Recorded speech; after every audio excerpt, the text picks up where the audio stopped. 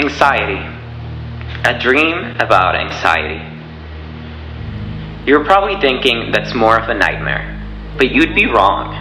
Last night, I was dreaming about the most terrible scenarios that could ever happen in my life. But the way I was experiencing them wasn't terrible at all.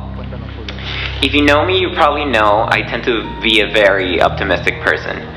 A firm believer you can choose to be happy, and if you try to find that light at the end of the tunnel, chances are you're probably going to be able to be happy and make the most out of everything and anything. That's why last night's dream changed me. I dream about dying in my sleep. What if I was no more? And weirdly, I didn't feel any fear about it. I've had a pretty good life.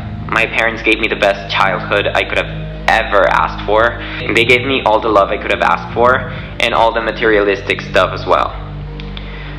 My extended family did the same. My older brother protected me from anything and everything, and my parents even chose to support me financially when I chose this crazy actor dream.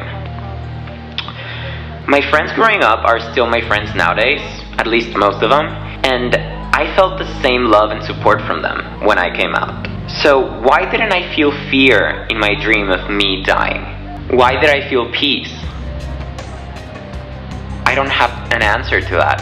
I can still be optimistic and let go of my life expectations at the same time.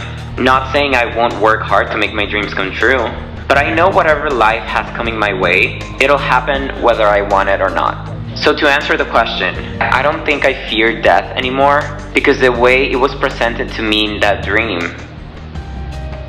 it was just time for me to go.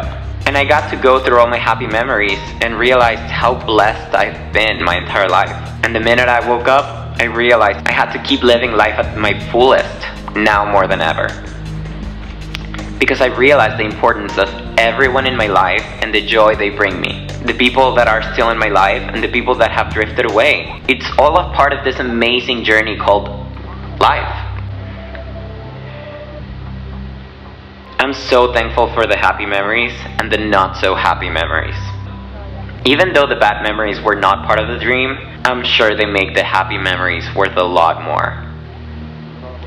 I'm happy to be alive.